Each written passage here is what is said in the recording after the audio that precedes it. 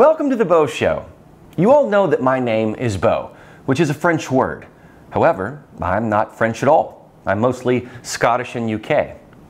However, being from the southern United States, especially towards Louisiana, the name is a little more common.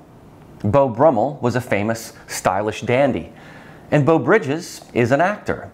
And for the first time in my life, I got the chance to take a trip to France to see what French culture really was like.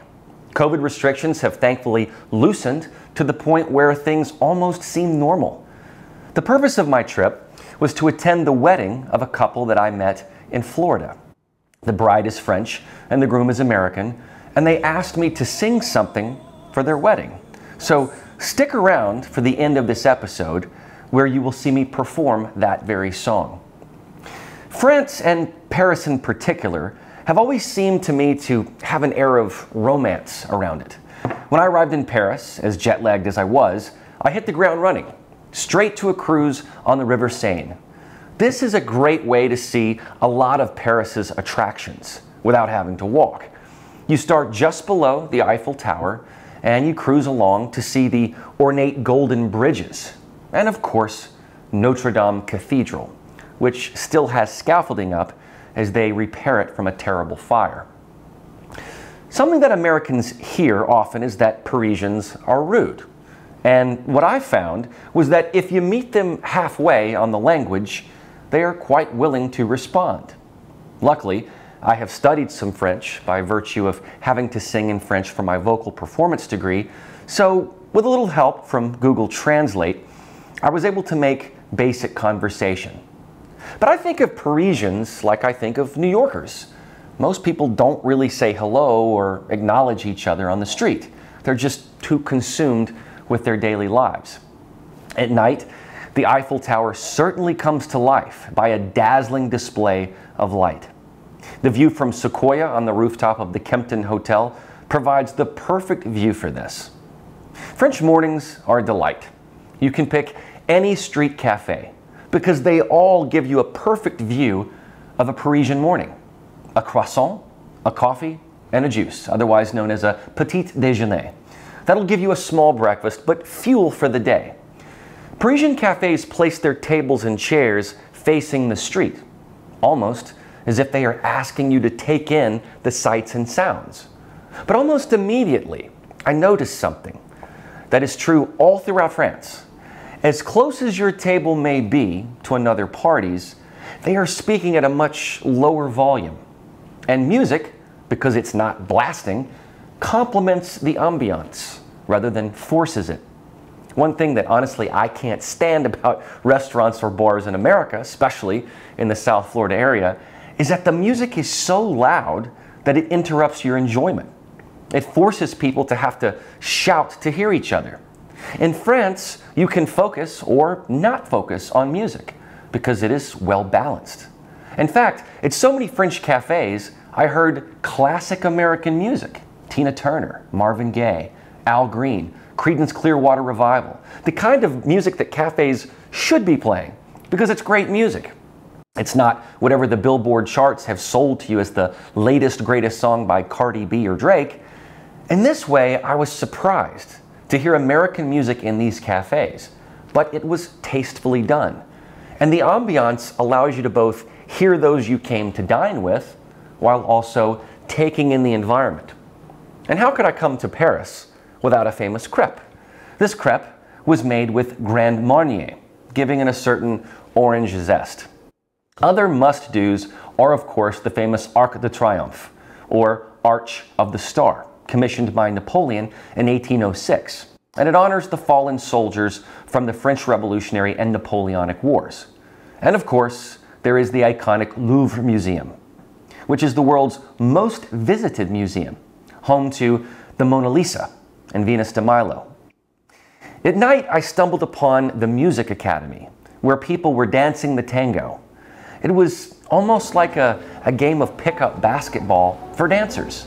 You could pick a partner, and just go for it. This was an exciting bit of culture for me that I had never seen in front of a gorgeous building. From Paris, I took a high speed train to Dijon. And when I say high speed, I do mean high speed.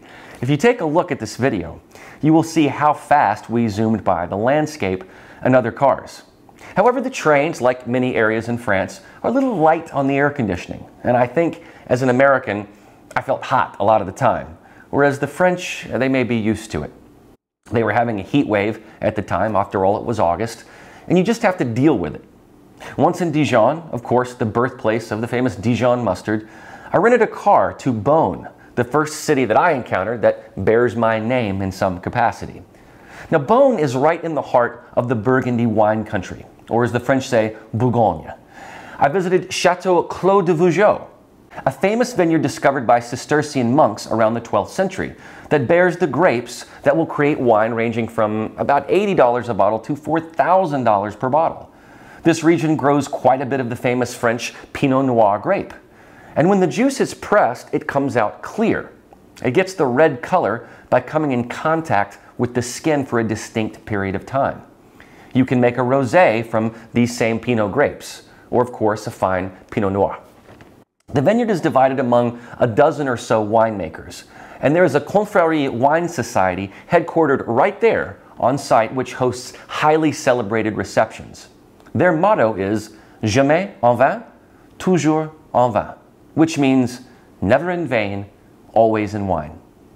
If you go anywhere in France, you will have a great selection of French wine, from Chardonnay to Sancerre to a Grand Cru Burgundy, all for a reasonable price point.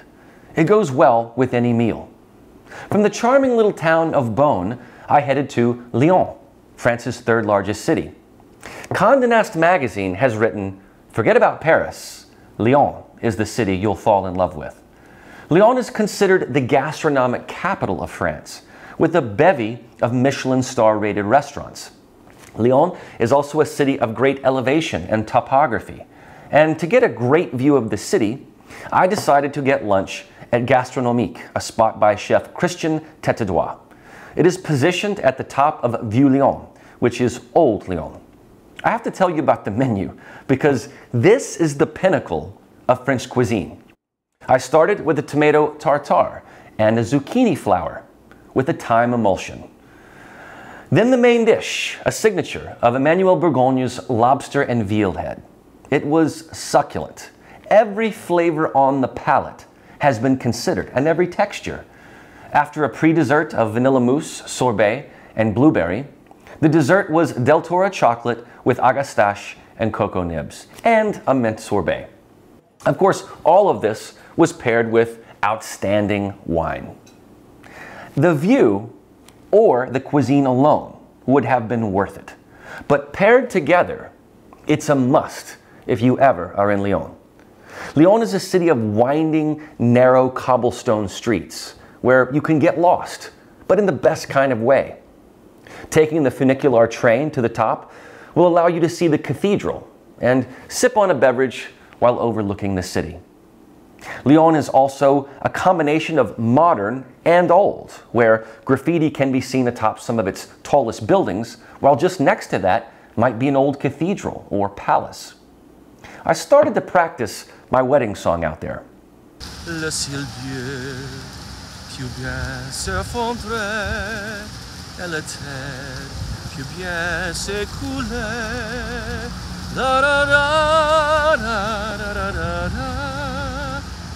From Lyon, I traveled south to the tiny towns of Labeaume and Ruoms.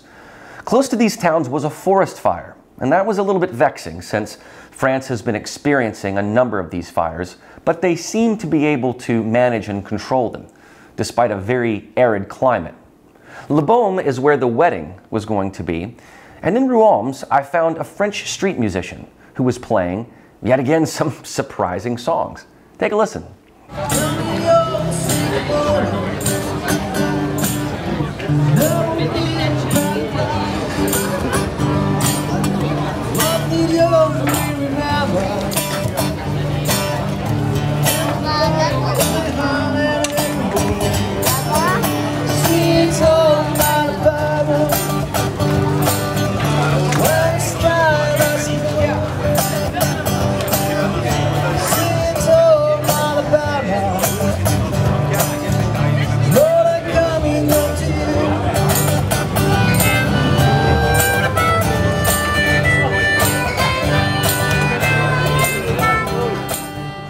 When he came around, I chatted with him, and I'd heard him sing something before that made me think maybe a duet would be good about the city where I'm from, Memphis, Tennessee. So we all agreed upon That's All Right Mama by Elvis Presley. Take a listen.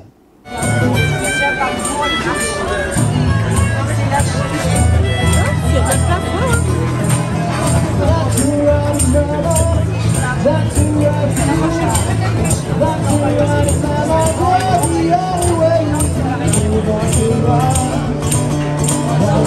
you.